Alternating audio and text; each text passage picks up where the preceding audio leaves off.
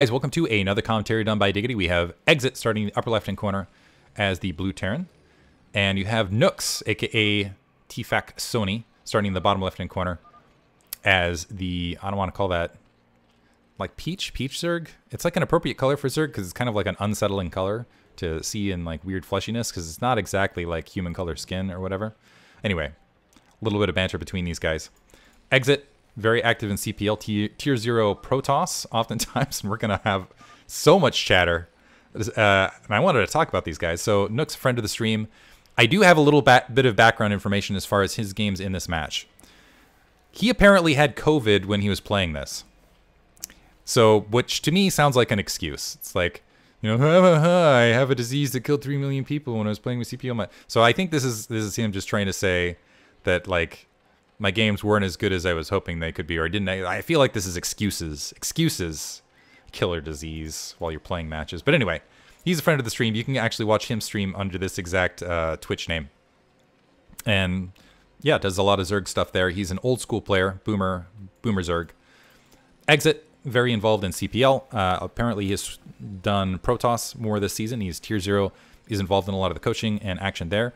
You'll also see him around Artosis' streams. Very active guy in the Brood War community. He has gone kind of a distance barracks here on that corner rather than going for a front door seal. We'll see how that ends up playing out for him. It looks like Nooks is opening up currently for a 12 hatch. Drone in position to do so. That Overlord is scouting to that bottom right-hand corner first. The SCV is scouting right initially for exit, so it's going to be... Oh, maybe not. I take it back. So I think what he was doing is he's looking for this corner, trying to see if the Overlord was there, and when he did not find the Overlord, he decided to go ahead and switch position and start making his way bottom left. Some players will do that. Uh, sometimes it pays off depending on the Overlord scouting route, sometimes it does not. But this time it looks like it's going to pay off. That or he's map hacking. No, I, th I think that was the play, is look for the Overlord mid-screen. When you don't find the Overlord, uh, switch directions. And that is going to end up result resulting in an earlier scout. So he's going to go ahead and see this 12th hatch, get a good look at that spawning pool, and maybe even get a little bit of harassment in on that drone line to be a little bit annoying in Nook space. So initial Marine being produced, looking for, and actually, interestingly enough, kind of doing this capping supply depot, just I guess in case Zerglings get across, they can't sneak across that back end. Second Marine being produced, wondering the timing of the bunker. Actually going for a gas steal. Interesting. It's rare to see a Terran gas steal a Zerg, but here we're seeing it all sorts of annoyance. This is going to be, you can tell that these guys want it, and they're they're playing, and they're they're going to be playful about it. Nook still, with no scouting information, still has actually not sent out a drone scout, which again could be a factor of the disease. So keep in mind he is playing a little bit plagued. There's the cancel. Uh, interestingly enough, cancellation to get those minerals back. Marine sitting out on the front. Exit realizing, okay, you know it's a 12 hatch. I can play this a little bit more economically stable canceling the factory to get, uh, or sorry, canceling the second barracks to get a little bit more Marines, or a little bit more Marines, a little bit more minerals. I'm playing apparently with, well, not with COVID, just whatever. Uh, getting that command center, he's going to be very safe doing so. Only two Zerglings making the way across that map. And finally, a drone scout moving. Never mind, this is going to be to take the third base. So Sony playing completely in the dark, just going to allow his Zerglings to get the scouting information for him. And honestly, with how late this drone scout's coming out and as few Zerglings are being produced, uh, I do believe that exit, yeah, just does not even need to build a bunker or anything defensively. He's already got the Marines uh, producing up. He's playing a little bit light at this stage of things. He's getting that economy. He's just been sticking on one barracks at this stage. We'll see if he goes ahead and grabs a second one uh, once this command center is up. But this is allowing Nooks to get a little bit of what he wants to do. He's preventatively already building a command, or a uh, command center, a Sunken colony. Can't say things today. Uh, just in case that will be able to perhaps deny that SCV scout as it comes across. But you can see how much in the dark he's playing. He's like, I don't even know if these Marines are coming across to attack me or not. So I just need to build this this uh, colony just in case. This is huge, whether you can deny this SCV scout or not. Is able to kill that SCV scout. We do see Lair upgrading. I think this is going to be three hatch Mutalisk. At least that is the indication up to this stage. SCV has already found this third hatchery and realizing there's a lighter Zergling count, the Marines are already starting to to press that six o'clock base. And if we see a bunker being built, might even be able to uh, finish that off. Looks like it's going to be able to.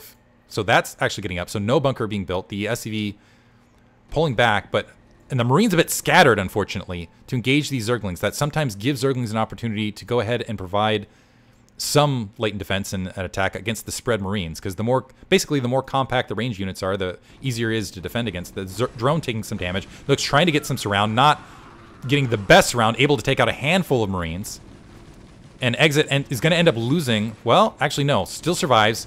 Creep colony being built the drone coming off the line. So one drone dies, but that that's huge. That initial Marine army gets wiped out. So exit in a little bit of trouble here. He has built a bunker to follow this up, but that basically means that Sony has an indicator where I can just do whatever I want. I can just drone as crazily as I want. I can go ahead and take additional expansions. I have map control. He wiped out that first Marine trooping and has to has to feel very comfortable and really only lost essentially two drones. He probably would have wanted to build this creep colony. I'm going to even say one drone because I'm counting one drone in the creep colony. Probably would have wanted to build that anyway. But so a, a big win there. A little bit of a looks like he has opted for lurker tech, so it's going to be three hatch lurker rather than three hatch mutalisk. Could be a factor of uh, lag. The Zerglings looking to go ahead and, and poke away at this Marine medic force, maybe catch something off guard. Second ComSat coming online. We do see that that second barracks range is about halfway finished for exit. So he's going to sit back and macro up, feeling, and I think he did in fact scan the Hydralisk Den, which is a big indicator that he can be a little bit more aggressive. Usually with the Mutalisk Force, you need to stay back. You need to worry about your Marines uh, defending home base. But with Lurkers, you know that your Zerg opponent is effectively going into just a flat defensive mode. You have to worry about hold position Lurkers oftentimes out in the map, but as long as you're a little bit cautious, the Zerglings actually sneaking across might be able to... Well, I don't think there's enough Zerglings to go ahead and take that off with the repairs, but they are going to be able to wander in and at least provide a little bit of disruption. They are going to get one SCV, maybe two SCV. No, they're going to wander back, be taken out by the rest of the Marines following us up. So just a little bit of a distraction for exit. Kind of a... I'm honestly surprised he decided to dive in with that. Uh, lurkers are up for Sony. He's got three bases. He's sitting at 30 drones, which is a nice situation, grabbing that second creep colony on the front and another bunker defensively. Sony worried a bit, perhaps seeing those lurkers, that there was going to be kind of one of those Zerg all-ins, where it's just a, a, flood of lurker ling to follow this up, rather than more of a macro-oriented follow-up. But we do, in fact, see uh, Sony grabbing a fourth hatchery at his natural expansion, starting to build a handful of Hydralisks to, to morph into Lurkers, and it looks like he's going for more. I think what he's playing from here is, is I've got my third gas established potentially. If I can just get Lurkers at the ramps on this base, I'm just going to work my way up to three gas, get Hive Tech, get up to, to uh, Defiler, something along those lines. Looks like this Lurker wandering out, to get killed there. Keep in mind, ooh, a handful of Marines getting killed a little bit unnecessarily. Keep in mind, until that science vessel is in the air, exit has to rely on scans. A little bit of a backstab here, but this is, again, two bunkers, exit expecting the all-in, but at least has to feel plenty defended uh, comparatively. There are, okay, there are two lurkers here behind the creep colonies, but they're a little bit out of range to where the sunken colony, or sorry, the creep, the sunken colonies, but they're a little bit out of range, so the Marines can actually kind of get along this corner, attack the sunken colonies, and those lurkers can't really attack that position. It looks like Exit was sitting around the mineral only, thinking that might be an additional base, so getting a little bit of map control right there. More lurkers wandering out, burrowing along the lines, getting some nice spread, and Exit just losing a lot of medics and Marines on that front, while that science, and actually going dropship before Science Vessel. This is an interesting play. So he wants to go ahead and try to get a drop in the main. He might be able to pick off that Queen's Nest. This Sometimes drops can be devastating versus Zerg. Comsatting and seeing all sorts of lurkers. He is going to be able to pick off this one uh, from double corner. He has a single siege tank as well, but he's expended a honestly a lot of Marines for free and has no medics on this front door. He has very little map control as a result. Dropship wandering out a little bit too early. Lurker Ling's going to go ahead and press up and take out that siege tank. So Sony actually in a fantastic position here. These poor Marines got to feel absolutely terrified out on this front. Another hatchery being planted down, so that's going to bring the hatchery count up to five. And we already have a hive on the way. Things going well for Nooks. He looks like Exit going ahead and grabbing additional base. So this drop needs to be stellar to get Exit back in this match. Because this is where Zerg starts to get scary. When they're at three bases and when they can get towards that higher end tech. There is going to be a bit of delay. A lot of Lurker and Lings in position to go ahead and see this dropship, but the question is, is did did Nooks in fact, in his addled state, see it incoming, and is he going to be able to react to it? Hydralisk coming back. It looks like a handful of Lurkers coming back. They're going to go ahead and drop at that natural expansion. Nice response. No drone taken out there. It looks, or sorry, one drone taken out. A single Lurker. That's going to get comp-satted and killed fairly, uh, fairly easily. This is going to be a split attack. More Marines dropping at the main. Going to see that Hive Tech coming. These guys are going to get more accomplished, getting a handful of drones right there. And yeah, very slow response.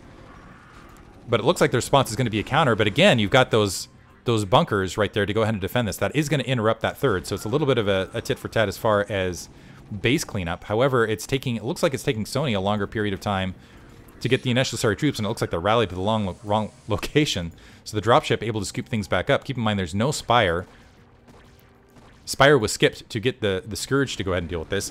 Exit, realizing that he's a bit distracted, mm, wandering out without medics once again against these lurkers, and that's provoking Sony to go ahead and drop and pl plunge a bunch of lurkers and kill all sorts of Marines at this location. He might actually even get one of the bunkers. Looks like he is going to be able to get one of the bunkers, but loses the rest. No, bunker stays. Just gets a turret. Gets a bunch of Marines with that attack, though. Sorry, bumped my mic. So very back and forth. I feel like Exit has got himself, without economic damage, a little bit of breathing room. He needs to get more medic and marines on the field and his science vessel count up, though, desperately and rapidly, because the Defiler Mound is on the way. He does have Irradiate upgrading. We already have Adrenal Glands upgrading. I love the Adrenal upgrade. Six Barracks up.